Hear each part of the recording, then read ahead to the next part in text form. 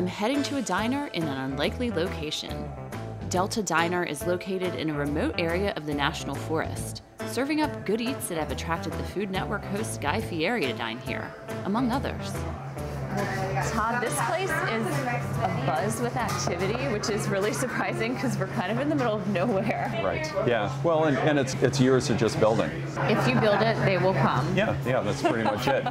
I feel like I'm not in Wisconsin. I feel like I'm on the East Coast in like New Jersey in a diner or something like that. You cannot pay us a higher compliment than what you just said because we love it when people from Jersey and from from Philly, from you know other parts of Pennsylvania, the the uh, Mid Atlantic they come out here and uh, when they want to come up and shake your hand and say, hey, I never would have expected to have a great diner experience in the middle of the woods of Wisconsin.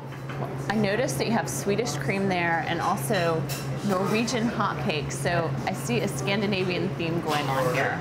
Absolutely. Uh, I am 100% uh, Norwegian on my mother's side and uh, grew up with Norwegian pancakes. I'm actually half Swedish and grew up having Swedish pancakes at my house. Well, you'll enjoy trying the hotcake because that has powdered sugar on it and then a little squeeze of lemon. And the, uh, the jalapenos are pickled jalapenos that go into the batter when it hits the grill. When you flip it, they caramelize and sweeten. So, Wow. And now it's time for those jalapeno Swedish pancakes. uh, chorizo sausage sauce that we put over the top that's nice and smoky, a little bit of heat, it's not overly hot. But all those flavors together kind of just create something different that people remember. I'm gonna take both of these. Kidding. I'll let you have yours.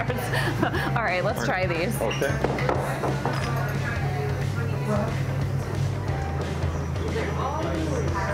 Ooh. wow. You got one? I got I got a jalapeno in there.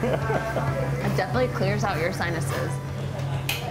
It's great to come back to the things we've been doing for years because both of these, I would say, are part of what built the diner.